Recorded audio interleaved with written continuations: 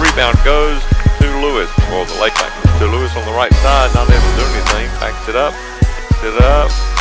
Inside. Shot up is good and put that in. Was shot. Oh, shot. oh, shot. Oh, that's good, but it was a quick shot. One second off the shot clock. Lewis three-point shot, top of the key is good. No, I don't think it was. Lewis driving down the right side, puts up a shot, and he's fouled. Call that on Harris? I would think so. Lewis, top of the key, three-point shot. It's good. Oh my goodness. Wow. On the left side. On the left side.